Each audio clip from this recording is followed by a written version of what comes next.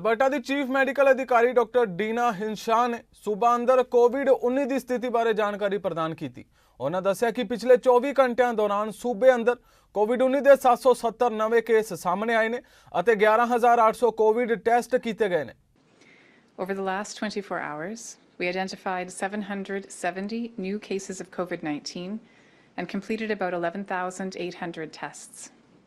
Our positivity rate was about 6.5%.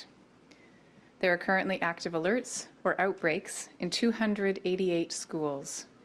Of these, four schools had 10 or more COVID cases who attended in the last 14 days while infectious. There are currently 912 people being treated for COVID 19 in hospital, including 201 in the ICU.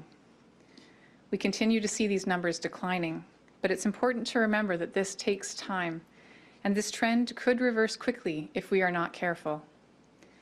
Sadly, over the last 24 hours, eight new deaths were reported to Alberta Health. I want to send my condolences to everyone grieving the loss of these Albertans and to anyone whose grieving loved ones lost to any cause.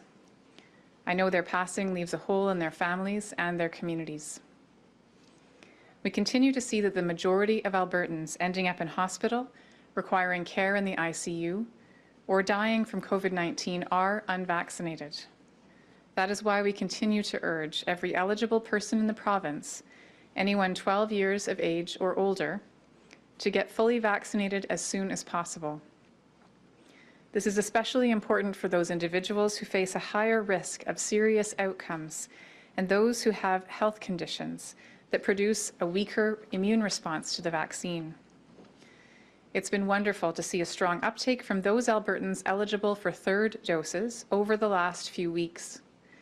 So far, more than 231,000 booster doses have been administered to those with severely immune compromising conditions, to First Nations, Metis, and Inuit individuals aged 65 and older,